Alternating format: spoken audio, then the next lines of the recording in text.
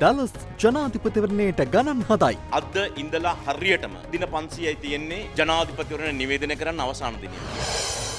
මාතර පාතාලයේ ගැටුමට පසු.